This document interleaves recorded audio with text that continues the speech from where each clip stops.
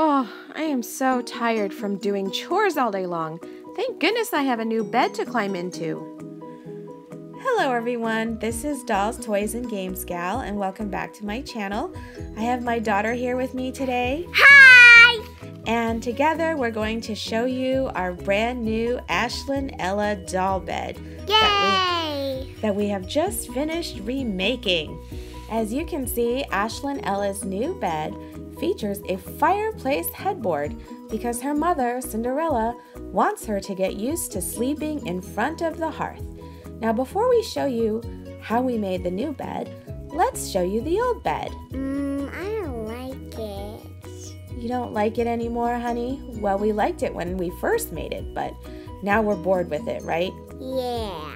All right, so I took it apart into this pile of mess mostly because I wanted to save the smooth foam block and that way I could use it to create a higher bed for Ashlynn Ella. So the bed really revolves around this amazing piece of fabric that I got off of spoonflower.com. It features a fairy tale terrarium of the Cinderella story, and I thought the girl looked so much like Ashlynn and the colors were so perfect for Ashlynn that this absolutely just had to be Ashlynn Ella's blanket. I will not be able to create a footboard for the bed though because the blanket is really long and I don't want to really cut it anywhere. I want the full thing to show. It's so perfect for Ashlynn. I'm glad you think so, honey. I think so too. And then also on spoonflower.com, someone actually took Ashlynn's dress and created a print fabric out of it. So I bought that too. What? So using this Ashlynn's Posies fabric, I hot glued it to one of the smooth foam blocks to serve as her top mattress. And I also got this canister of trims that I thought had particularly good colors for Ashlynn.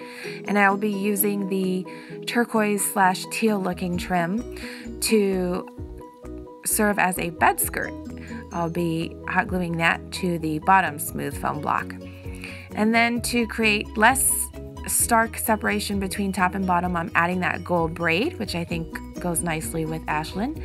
And then I'll be creating a bed base using this smooth foam sheet and using some of the fabric I used in the first Ashlynn bed, which I still had, I will be hot gluing that around the smooth foam sheet to create her bed base.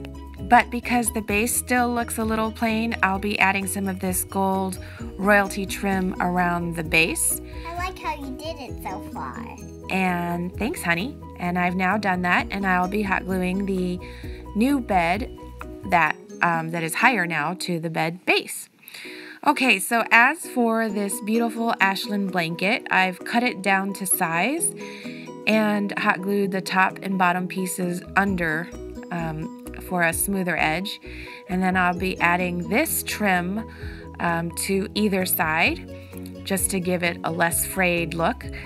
And then I also added some gold trim because I thought there wasn't enough gold in the blanket after all, because Ashlynn does have quite a bit of gold in her. To create Ashlynn's pillow, I cut out a rectangle of her pink posies fabric and I will be trimming it with this beautiful teal colored accordion ribbon.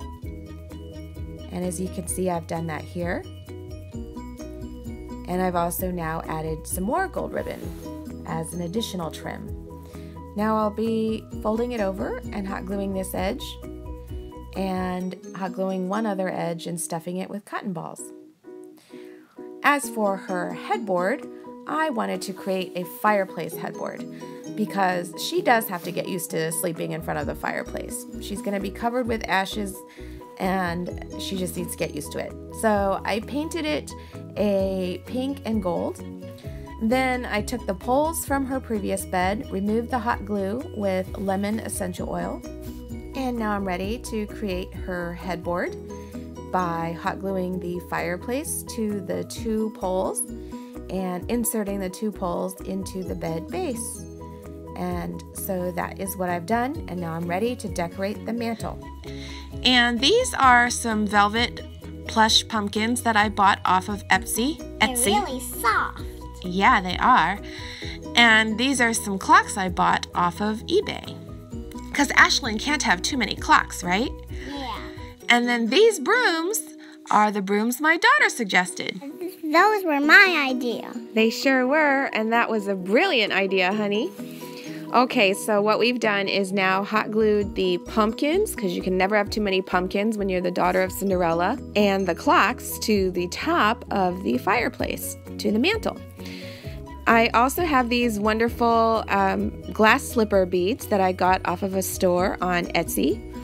And these are branches that I painted from a kit called Birds and Branches from Hobby Lobby.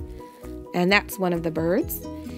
And I'm going to use these to decorate the end of her bed. So I cut the fabric from her old bed into four long strips and hot glued them over these branches like so. And I will also be adding the bird on top of the branch at some point. So here I've hot glued, sorry about the mess in the background by the way. I've hot glued the glass slipper beads to the tops of the poles and now I've hot glued the bird and the branch and the and the curtains. I'll be using these spare parts tassels to hold apart the curtains. And I also hot glued the other brown branches I painted, but I forgot to take footage to the fronts of the poles at the end of the bed, which I think you'll be able to see um, right here. See those? I also tied curtains around those. Okay, so now let's finish off this bed by putting on the pillow and now the blanket. And let's add a pumpkin pillow. And here's a side view of the bed. And here's Ashlynn next to her brand new bed with a fireplace headboard. All right, so what do you guys think of the new bed? Do you like it? And while you're thinking about it, let's do some shout outs to Melody Piper and Ava Mixon. Thank you guys so much for being patient. For everyone else, I want to thank you for watching my videos and for all of your kind encouragement and support. It means so much. Thanks so much for watching.